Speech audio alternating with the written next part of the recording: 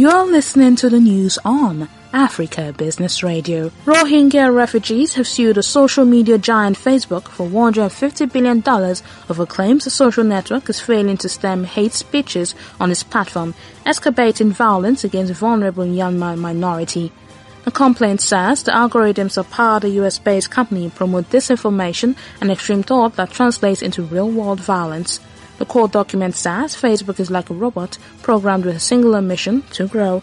It added that the undeniable reality is that Facebook's growth, fueled by hate, division, and misinformation, has left hundreds of thousands of devastating Rohingya lives in its wake. That was the news at this time on Africa Business Radio.